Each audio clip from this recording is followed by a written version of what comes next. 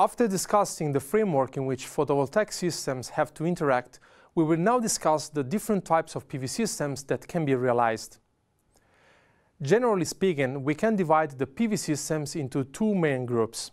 On the right-hand side are the grid-connected systems, and on the left-hand side are the standalone systems.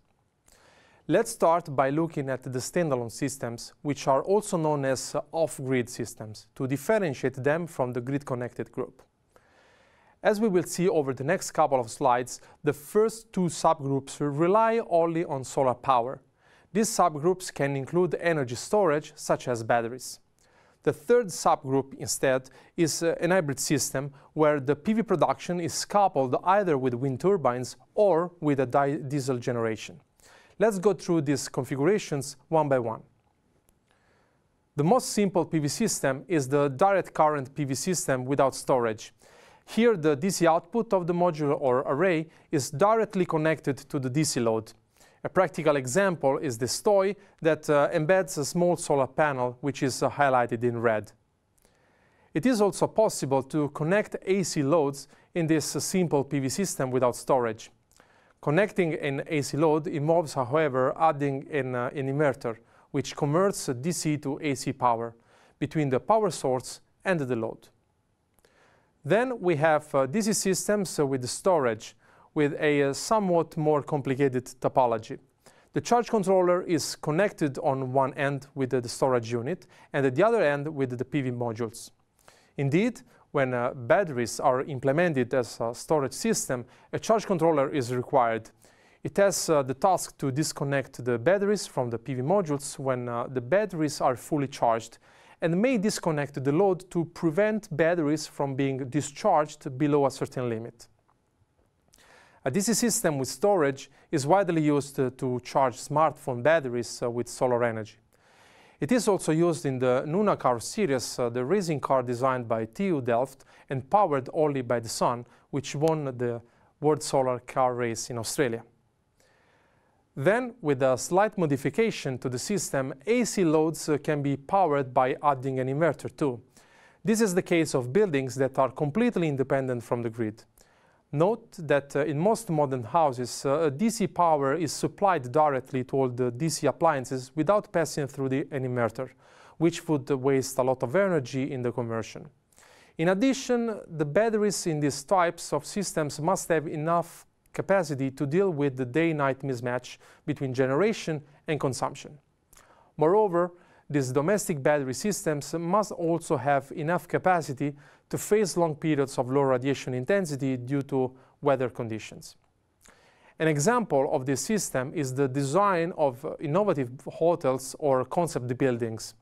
These buildings use all kinds of renewable uh, energy technologies such as wind, tidal, and solar energy. The structure might contain a DC microgrid in case the owner wants to use only DC loads. For example, televisions that are directly working in DC mode. Then, if needed, the building can also have a connection to the grid. The bottom line is that uh, the system can become more or less complex depending on the final applications. To conclude the standalone group, we have hybrid systems that combine PV modules with a complementary method of electricity generation, such as a diesel and or wind generator. You can imagine to back up your uh, energy supply and reduce the generation consumption mismatch of solar power by introducing an alternative form of power generation.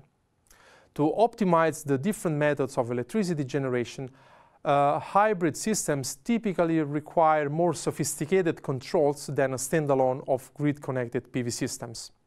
For example, in case of a PV diesel system, the diesel engine must be activated when the battery reaches a given discharge level and stopped when uh, an adequate charging state is reached.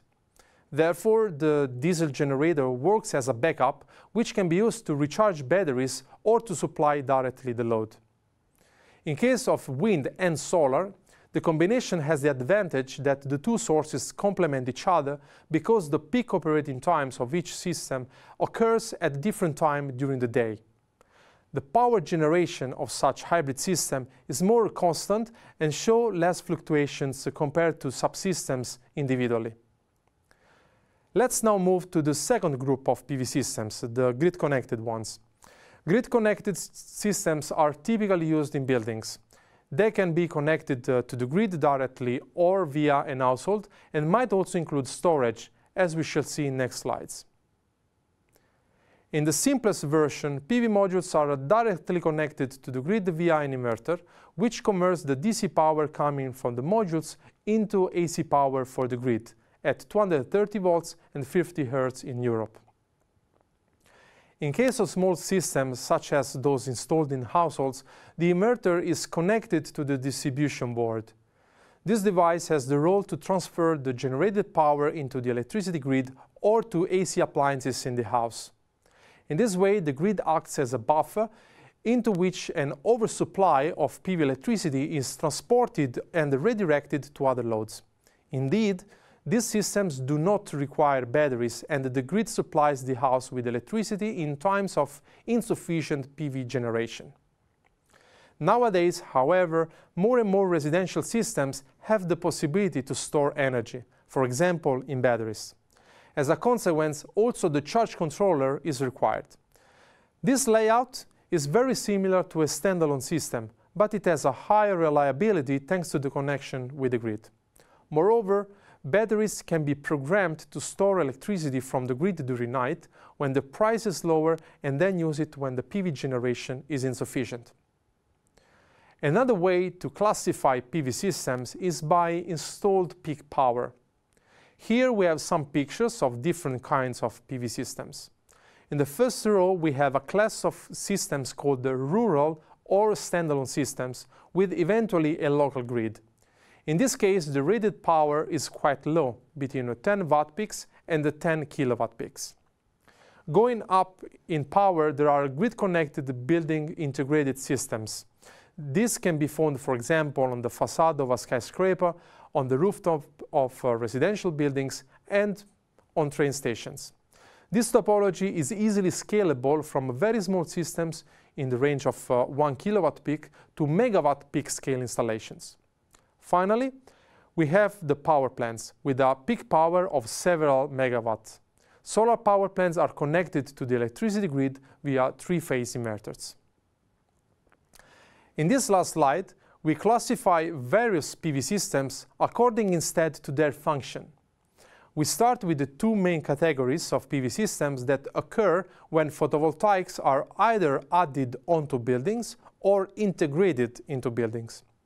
On the right-hand side, we have the build-added photovoltaics, or BAPV, which refer to photovoltaic systems laid down onto building after its construction is complete. On the left-hand side, we have building integrated photovoltaics, or BIPV, in which PV modules replace conventional building materials. These two categories cannot currently define all the innovative applications involving solar energy and the environment where we live nowadays. Therefore, the concept of environment integrated photovoltaics, or EIPV, includes BAPV, BIPV, and much more. We have, for example, uh, bicycle roads realized with solar modules alongside uh, charging stations with uh, electric bikes, colored pergolas for uh, electric parking lots, and uh, an off-grid info point that provides you with the relevant information and has the possibility to charge smartphones and tablets.